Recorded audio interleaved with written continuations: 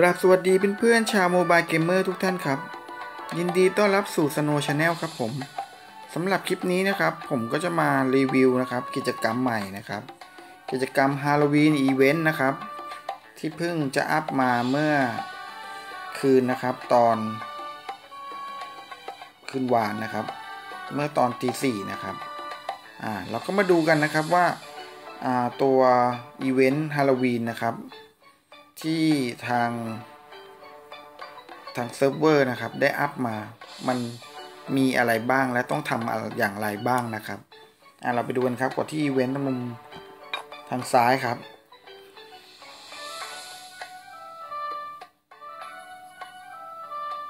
อ่า เสร็จแล้วครับ มันจะกลับมาที่หน้านี้นะครับ มีเขียนว่าเวลาที่เหลือ 13 วันนะครับ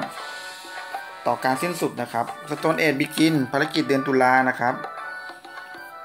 นะครับบรรลุภารกิจเกมและรับตั๋วเพื่อแลกรางวัลมากมายนะครับเงื่อนไขภารกิจนะครับ บรรลุภารกิจเกมเพื่อรับตั๋วนะครับ ถึงวันที่ 1 เดือน 11 นะครับ แล้วก็แลกรางวัลได้ตัวสุดท้ายคือวันที่ 12 เดือน 11 นะครับ เพื่อนๆอย่าลืมนั้นแล้วกันนะครับอ่าเสร็จแล้วมาดูข้อแม้หรือหัวข้อในการที่ว่าจะได้รับตั๋วหรือติเก็ตนะครับอ่าข้อหนึ่งนะครับ เพื่อนๆต้องเข้าเล่น ผจญภัย 1 ครั้งนะครับ หรือนะครับเล่นเข้าก็เล่นกองกำลัง 1 ครั้งนะครับ หรือสังเวียน 1 ครั้งนะครับ ได้ติ๊กเก็ต1ใบนะครับ2นะครับเพื่อนๆต้องเข้าเล่นแท่นบูชาเจตพูด 1 ครั้งนะครับ ส่วนแท่นบูชาเจตพูดเนี่ยวันหนึ่งเราจะลงได้แค่ 2 รอบ ก็เท่ากับว่าวันหนึ่งเราก็จะได้อยู่แค่ 4 ใบนะครับ อ่า มาถึงข้างล่างกันนะครับ ตั๋วที่ใช้ได้นะครับ ก็คือวันนี้นะครับผมได้ลงนะครับ หาตั๋ว มาแล้วทั้งหมด 183 รอบนะครับ จากบทกองกำลังนะครับ เพราะผมจะลงกองกำลังเพื่อหาหญ้านะครับ เพื่อมาอัพตัวละครด้วยแล้วก็หาหินวิวัฒด้วยนะครับอ่ามามุมทางขวานะครับ ตั๋วที่ใช้ไปตอนนี้นะครับ ผมยังไม่ได้ใช้นะครับ ก็ยังเป็นศูนย์อยู่นะครับ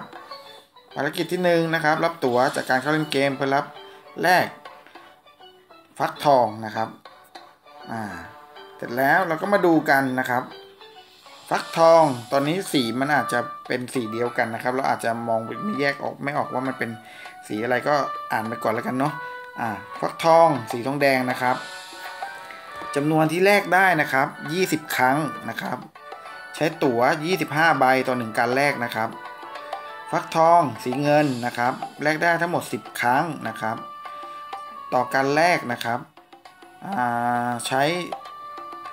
125 ticket นะครับอ่าสูตรสุดท้าย ฟักทอง สีทองนะครับแลกได้ทั้งหมด 5 ครั้งนะครับ ใช้ตั๋ว ticket ในการแลก 250 ใบนะครับอ่าเราไปดูรางวัลกันนะครับอ่า นี่ครับหน้ารางวัลนะครับ ฟักทอง แต่ละรูปมี itemอะไรบ้างนะครับ ฟักทองสีทองแดงนะครับ ก็จะแจกเป็นเนื้อนะครับ 100 ชิ้นนะครับสโตน50,000นะครับย่าอีพีใหญ่ 5 ชิ้นนะครับ คิตตัน100 ชิ้นนะครับไข่สุ่มวิวัต3ดาวนะครับ ตัวนี้เดี๋ยว ผมก็ไม่แน่ใจว่ามันจะสุ่มได้หรือเปล่านะครับ หรือจะได้ได้ทั้งชุดเลยนะครับ หมายความว่า 1 การแรกเนี่ยจะได้อ่าห้าอย่างที่เป็นแถวหนึ่งเนี่ยครับอ่าส่วนฟักทองสีเงินนะครับ ก็ตอนหนึ่งตอนหนึ่งการเปิดนะครับ ก็จะมีสโตนโพโคตัวเป็นหมูตัวนี้เป็นสีดาวนะครับ น่าจะเป็นอ่ามอนสเตอร์ใหม่นะครับ 2 เป็นอีกยาอีกพีนะครับ 5 ชิ้น คิตตัน500 นะครับไข่สุ่มวิวัฒระดับ 4 ดาว 1 ชิ้นนะครับไข่สุ่มวิวัฒระดับ 5 ดาว 1 ชิ้นนะครับ เสร็จแล้วมาถึงตัวฟักทองสีทองนะครับ ก็จะได้สโตนโพโค5ดาว หน้าตัวนี้น่าจะเป็นพวกหินวิญญาณนะครับ แต่ผมไม่แน่ใจว่ามันจะได้กี่ชิ้นตอนหนึ่งการแรกนะครับเดี๋ยวเดี๋ยวถ้าผมเปิด มีแพ็กรีวิวแล้วผมก็จะมาเปิดให้เพื่อนๆดูอีกทีว่ามันได้กี่ชิ้นนะครับอ่าย่าฟักทองอ่าฟักทองสีทองนะครับ ก็จะได้อ่าสโตนโปโค5ดาวนะครับ แล้วก็ย่า EP ลึกลับนะครับ3ชิ้นนะครับคิดสั้น1,000โอ้โหเยอะมากนะครับ แล้วก็ไข่สุ่ม วัตถุดิบวิวัฒนะครับ5ดาว1ชิ้นนะครับ แล้วก็มีไข่สุ่มไดโนเสาร์นะครับ1ใบ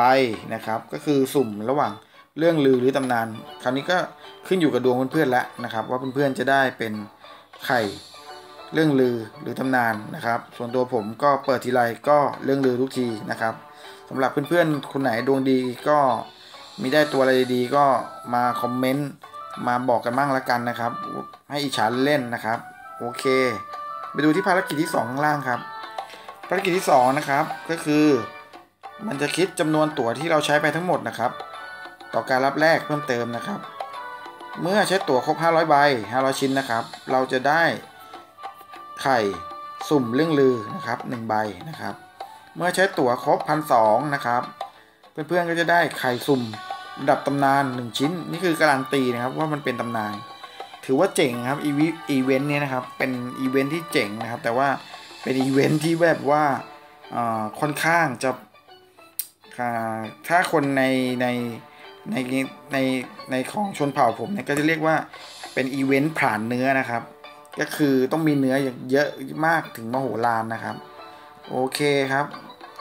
ในวันนี้นะครับผมมี 183 ใบนะครับ ผมก็จะมา ลองแลกดูนะครับว่าตอนหนึ่งการแลกเนี่ยมันจะได้เป็นสุ่มเป็นชิ้น หรือมันจะได้ทั้งแถวนะครับ ลองให้เพื่อนๆดูสักหนึ่ง หนึ่งชุดละกันนะครับโอเคตกลงปุ๊บอ่าเสร็จแล้วถ้าเพื่อนๆแลกได้นะครับ มันก็จะมีเนี่ยครับช่องคำว่าแลกตัวนูนให้ขึ้นมาให้แลกนะครับอ่าผมก็จะลองแลกนะครับอ่าฟักทองสีทองแดงนะครับ สักหนึ่งชิ้นละกันหนึ่งชิ้นนะครับ ผมใช้ตั๋ว 25 ใบนะครับ ผมแลกได้ 20 ครั้งอะลองแลกดูแล้วกันนะครับ ว่ารางวัลมันจะได้ทั้งหมดเลยหรือว่ามันจะสุ่มนะครับ มาดูกันเลยครับอ่า เนี่ยครับ แปลว่าคือ เดี๋ยวนะครับ เปิดฟักทองสีทองแดงมอบไข่สุ่มวิวัฒสามดาวนะครับหนึ่งชิ้น ก็คือสรุปได้เลยนะครับ เมื่อกี้ เพื่อนๆนะครับ เวลาพอเพื่อนๆเปิด เปิดตัวไอติเกตที่แรกเอาเอาเอาเอาฟักทองนะครับ มันจะสุ่มครับห้าชิ้นนะครับ มันจะสุ่มมาให้หนึ่งให้เพื่อนๆเนี่ยหนึ่งชิ้นนะครับ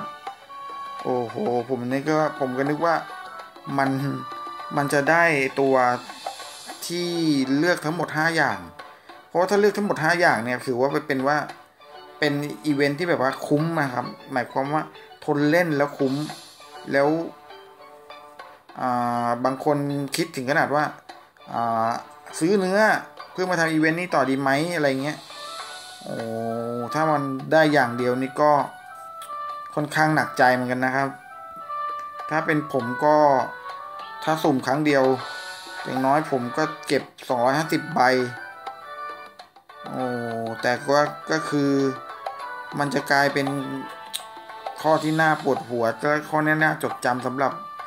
บางคนนะครับ ผมว่ามันต้องมีอย่างผมก็ต้องเจอแหละ เกิดว่าเราไปเปิดแพ็คฟักทองสีทองนะครับ เราใช้250ใบ แล้วเราเราได้ย่าอีกพีลึกลับนี่ครับ โอ้โหปวดจิตสนานนอนก่ายหน้าผากกันเลยเป็นคืนเลยนะครับ โอ้โหโอเคครับ ก็สำหรับตัวอีเวนต์นี้ก็ ยังไงเพื่อนๆก็เล่นเกมเกมนี้อยู่แล้วเนาะก็ถือว่าเป็นอีเวนต์เสริม เพื่อให้เพื่อนๆได้สนุกสนานกับตัวเกมนะครับโอเคครับสำหรับคลิปนี้นะครับ ก็ต้องกราบลาเพื่อนๆไปก่อนนะครับสำหรับเพื่อนๆคนไหนที่ยังไม่ได้ติดตามช anel ของผมนะครับ ก็ช่วยกดติดตามนะครับ กด subscribe channel ของผมด้วยนะครับ แล้วก็เข้าไปดูคลิปย้อนหลังกันได้นะครับสำหรับคลิปนี้นะครับ ก็กราบลาไว้แค่นี้ก่อนสำหรับคลิปหน้านะครับ ผมก็จะมีการเป็นรีวิวตัวละครนะครับ คราวนี้